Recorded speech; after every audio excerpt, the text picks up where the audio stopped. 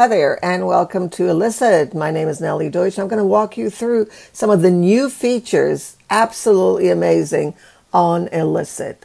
So let me um, notice here find papers, extract data from PDFs that I already have, or list concepts. What concepts are you looking for across papers?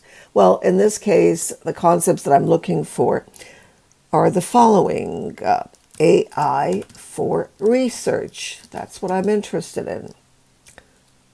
So let's see what happens with that. Here it comes. So uh, be patient. And here we are, the final answer. Notice the concept on the left and the source on the right. And uh, the articles that are available. Notice some of these are current, more current than others but most are current because this is a current topic by by default, right? So you can go through any of these. Absolutely amazing. All right, so now what we're going to do after we've got our concepts, we're going to go and pin the sidebar open right there. So let's do that so it stays open. Notice what's available here home library Workflow history, list of AI for research. How does the wording of feedback impact? These were some of my other search topics. Uh, I can view them all. Help and guides, contact us, and then notice the credits over here that are available. And I can always buy more credits, and there are lots of them, right? Uh, let's go into library so we can see some of the new features. Notice here um, you can upload papers or connect to Zotero, which is lovely, right? If you're familiar with Zotero. If not, you may want to take a look. Let's do it. I can integrate with Zotero, click on connect, and I'll be able to do that. So I'm going to connect. So here we are, elicit, accept default, change permission. And there it is. I'm in. So I've connected Zotero with my account on Elicit. Let's go into library once again. Okay, so I can upload papers, I can sort them, right? Presentation slides, something that I added. Let's um, go back to Elicit here on the left and see what else is available here list of concepts, and then other features that are now available are find papers. So let's find paper AI for research. Let's add that and see what we get. And that's what we got. Here's a summary of the top eight papers. I can copy it or I can take a look at them. They're pretty current. Notice uh, the last one here is 1980. All right, so we can uh, add filters. Okay, over here.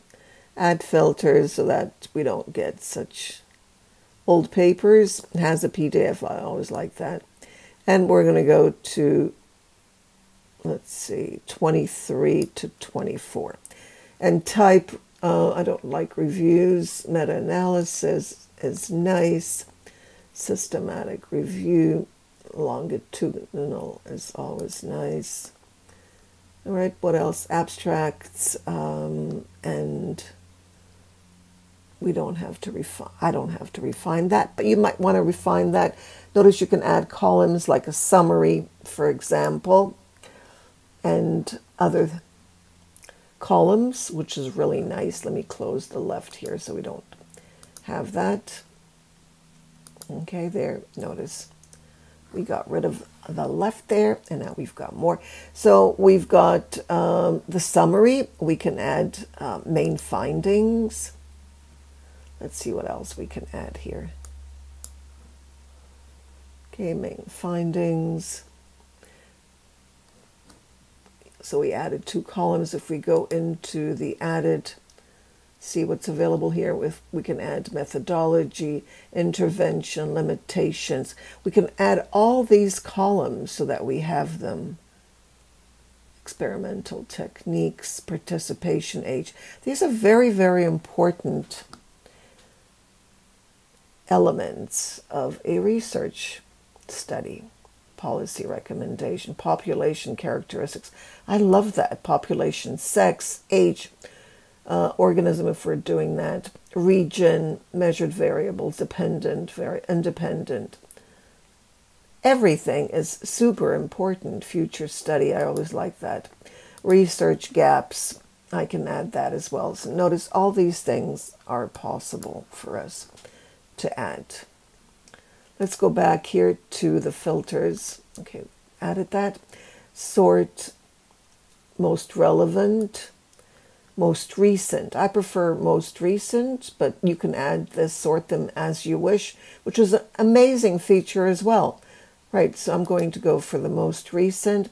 Notice I can go into the filters. I filtered the date and longitudinal the study, and um, abstract does not contain. Okay, we did that already. So the most recent is, as you can see, 2023. It hasn't been cited, and I can get the articles artificial intelligence and business, exploring the intersection, and research methodology. I like that. Right, so let's uh, see what's available here. Let's click on the copy. We can also export as noticed here. Okay, to Zotero RIS, CSV or BIB also for Zotero. Let's click on the article itself and notice what we get here. We get the whole article. Introduction, importance of AI in today, the role of research. Isn't that amazing? Lovely, right? Okay, so we're going to click on the copy that. If we wish to go into it, we'll go into in a minute, or we can go into, notice here, Semantic Scholar, which is also part of Elicit. Click on Semantic Scholar and here we go.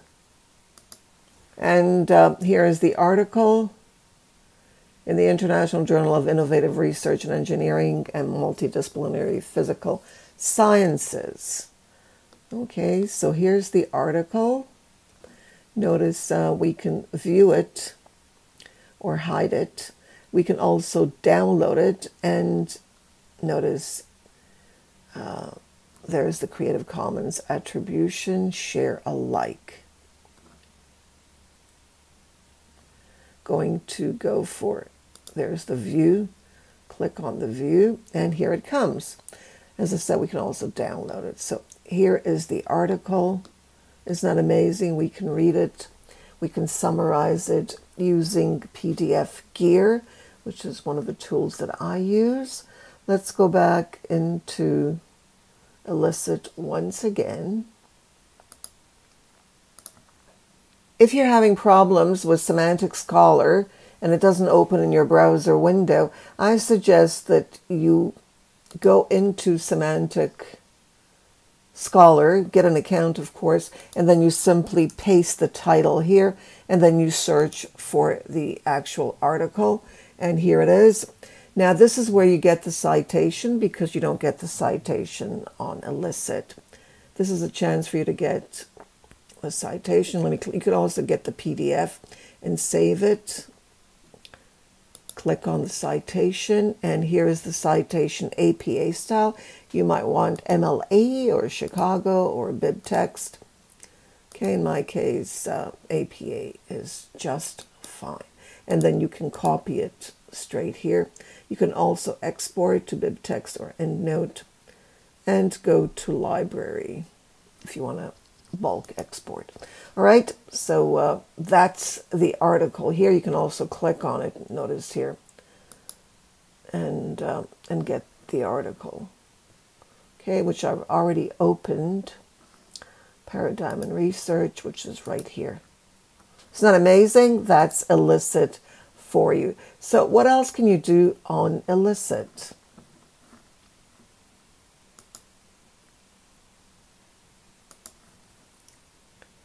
So, stay tuned for more new things that are coming up at Elicit in my next video. Thank you for watching. Have a great day and enjoy Elicit.